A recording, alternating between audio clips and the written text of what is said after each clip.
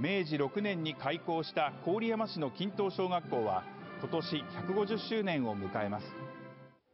小学校では歴史や伝統を学ぶ取り組みを進めていて今日は子どもたちが自分たちで調べた学校の歴史を発表しました。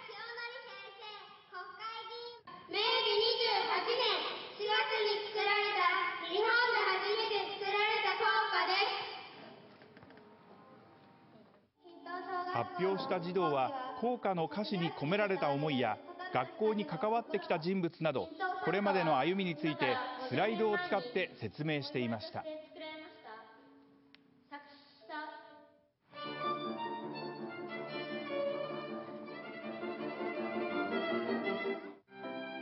発表の後は小学校の卒業生で東京音楽大学大学院に通う渡辺真弘さんたちによる生演奏が披露され